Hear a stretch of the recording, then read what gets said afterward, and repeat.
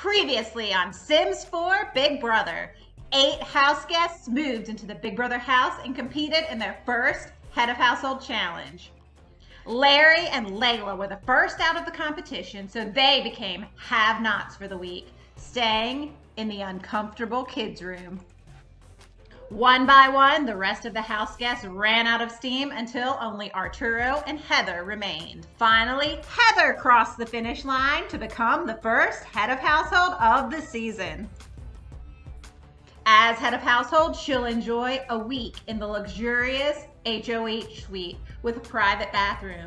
But with great power comes great responsibility. Heather now has to nominate two of her fellow house guests for eviction. Who will she choose? Find out on this episode of Sims Big Brother.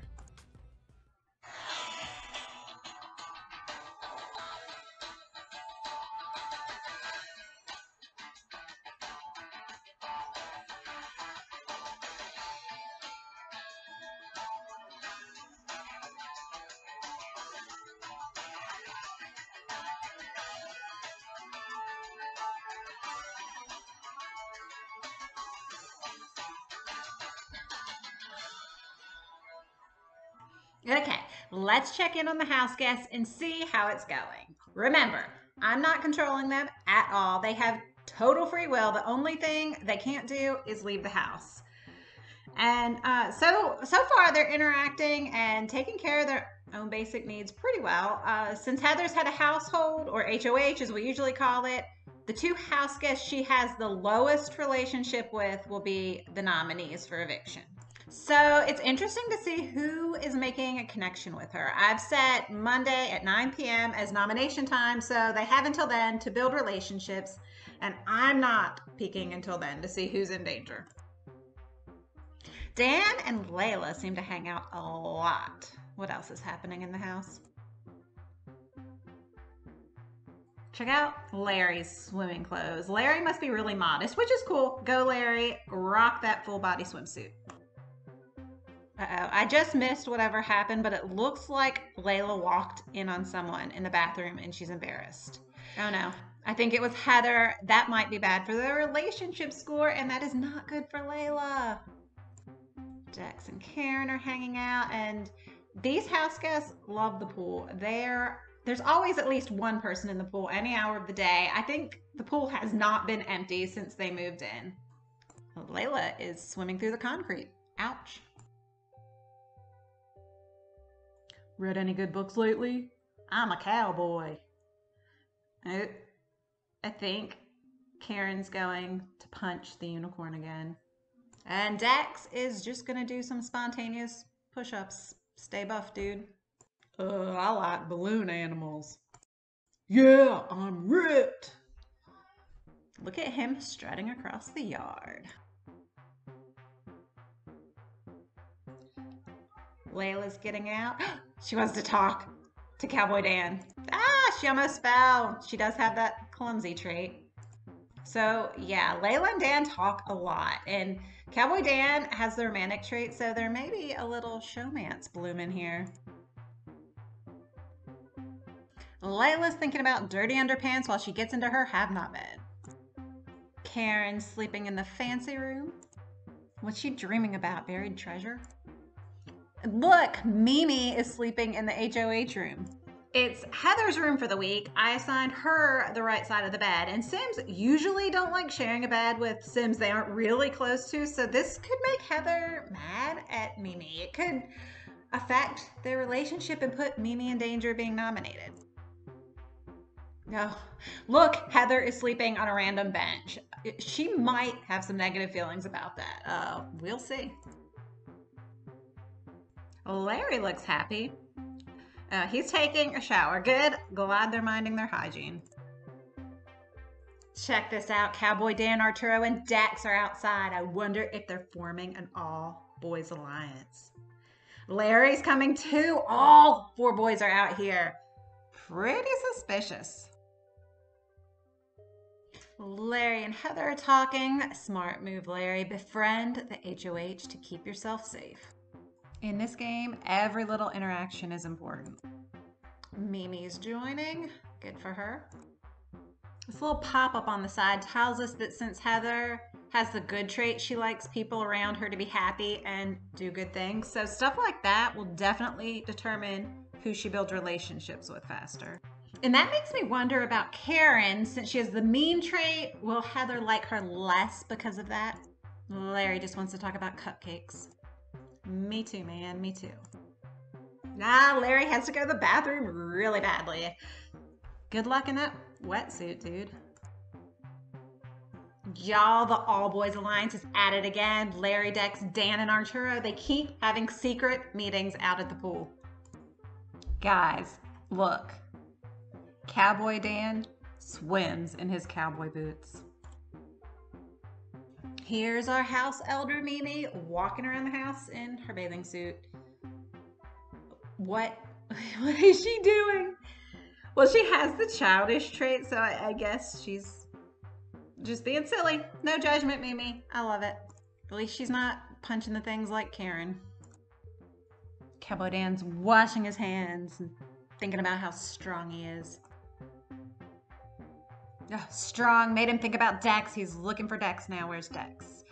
Dex is having some coffee. They drink so much coffee in this house.